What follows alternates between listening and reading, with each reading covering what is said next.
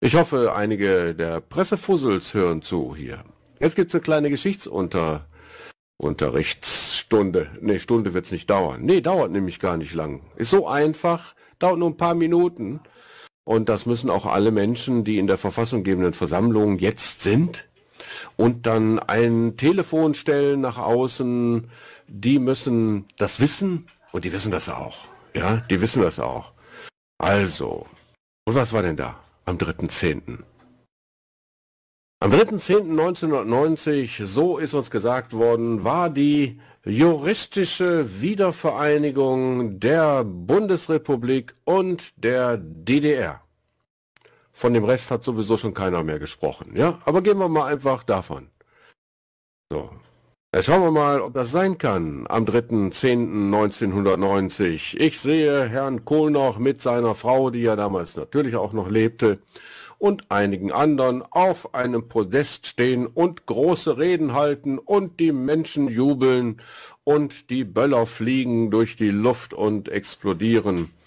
Und große Freude, Umarmung und Hasse nicht gesehen.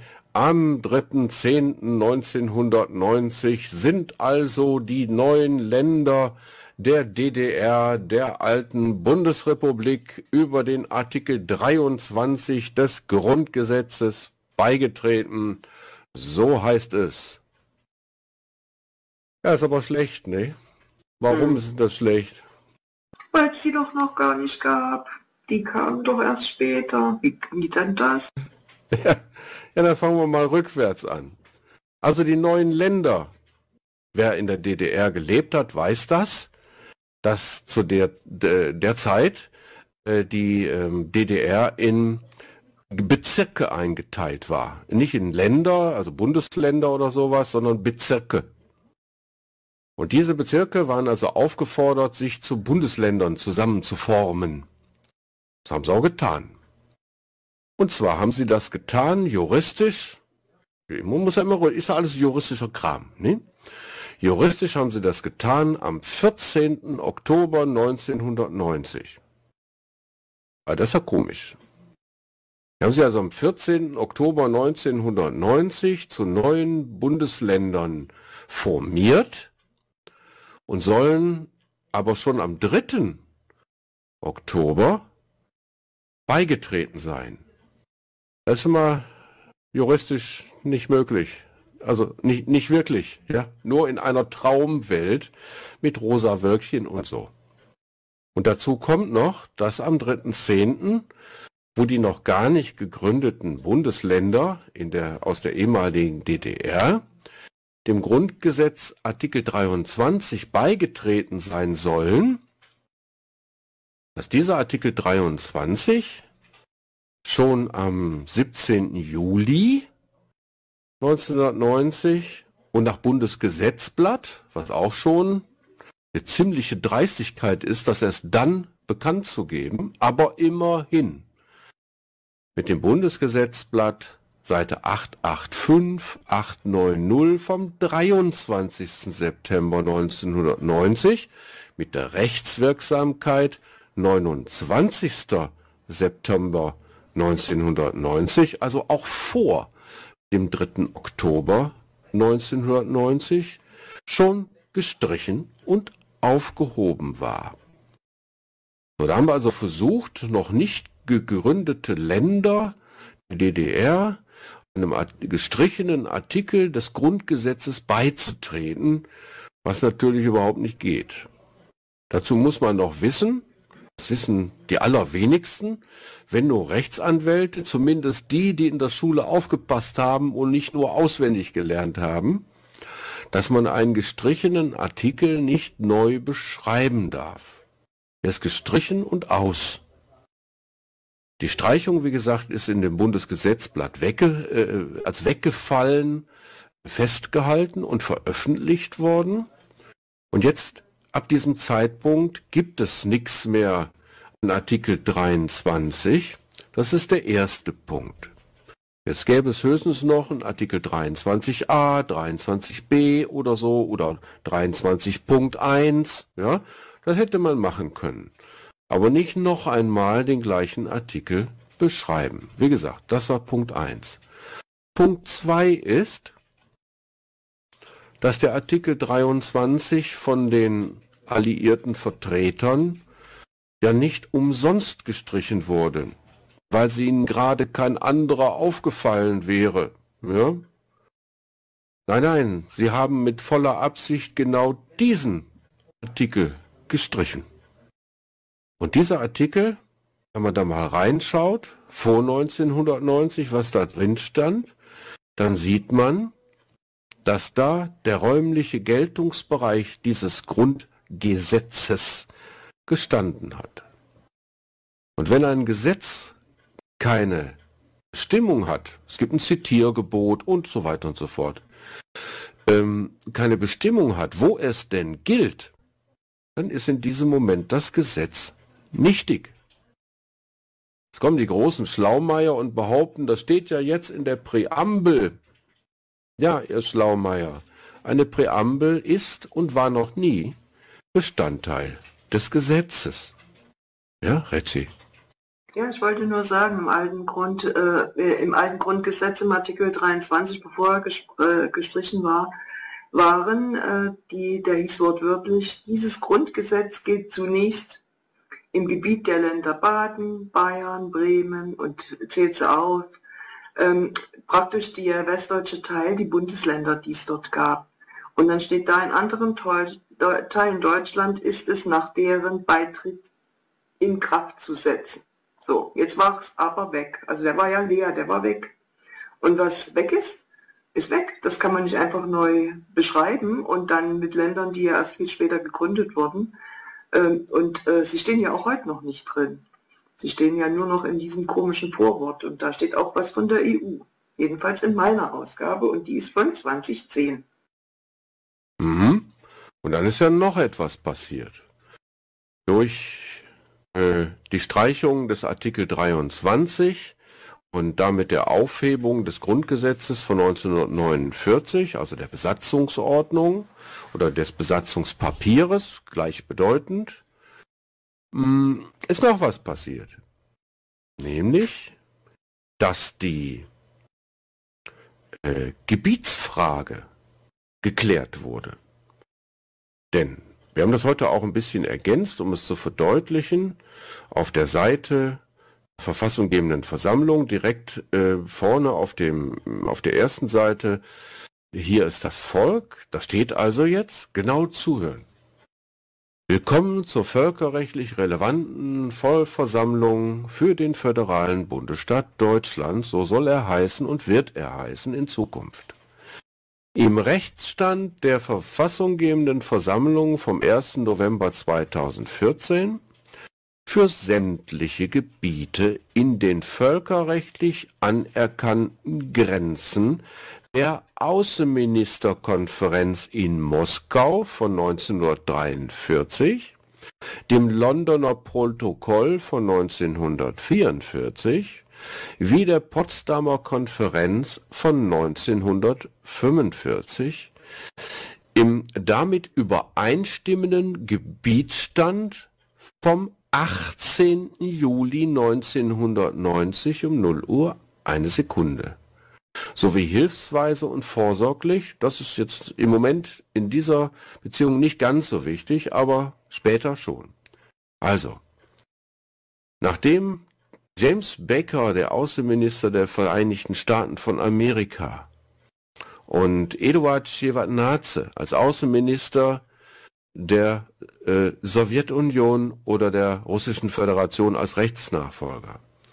Die Streichung des Artikel Grund, Grundgesetz vorgenommen hat, wurden die Bestimmungen aus der Außenministerkonferenz in Moskau äh, dem Londoner Protokoll von 44 und vor allen Dingen der Potsdamer Konferenz von 1945 aktiv gestellt. Und diese Aktivbestellung oder Stellung, da muss man jetzt mal ins Potsdamer, in die Potsdamer Konferenz beispielsweise äh, sehen, die sagen eindeutig aus, Deutschland als Ganzes aus der Sicht der Alliierten sind die Grenzen vom 31. Dezember 1937. Dies bedeutet, dass ab 18. Juli 1990 erstens die Rechtsgrundlage, auf der die gesamte politische Klasse gewählt worden ist, seit 1949 bis 1990 im Juli, erloschen ist.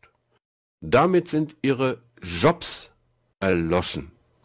Sie hatten keine Rechtsgrundlage mehr, weiterhin irgendein Amt zu bekleiden, weil das Besatzungsorgan und das Besatzungspapier aufgehoben wurden. Sie waren nicht mehr tätig für die Alliierten. Und dieses nicht mehr tätig für die Alliierten, weil sie ja, wie gesagt, die Gesetzesgrundlage nicht mehr hatten, die war ja weg, gab ihnen kein Recht mehr, auch nur eine Sekunde länger, um über Deutschland als Ganzes zu befinden. Und zwar in den rechtlich, völkerrechtlich verbindlichen Grenzen vom 31. Dezember 1937. Das Bundesgesetzblatt klärt darüber dann noch einmal auf, aber wie gesagt, es gibt Fristen, in denen so etwas ver zu veröffentlichen ist. Diese Fristen sind nicht eingehalten worden. Nach der ähm, Konferenz in Paris, wo die Streichung des Artikel 23 stattgefunden hat, gibt es Bilddokumente und Tondokumente, wo Herr Genscher den Journalisten untersagt und verboten hat, auch nur ein einziges Wort über die Streichung des räumlichen Gren Geltungsbereiches zu verlieren, weil sie etwas Zeit brauchten, eine Mickey-Maus-Nummer für die Deutschen, für das deutsche Volk, damit letztendlich auf alle anderen Völker erst zu entwickeln und zu entwerfen. Und diese Zeit haben sie auch genutzt. Zwischen dem 18.07.1990 und dem 3. Oktober 1990 ist eine Menge passiert.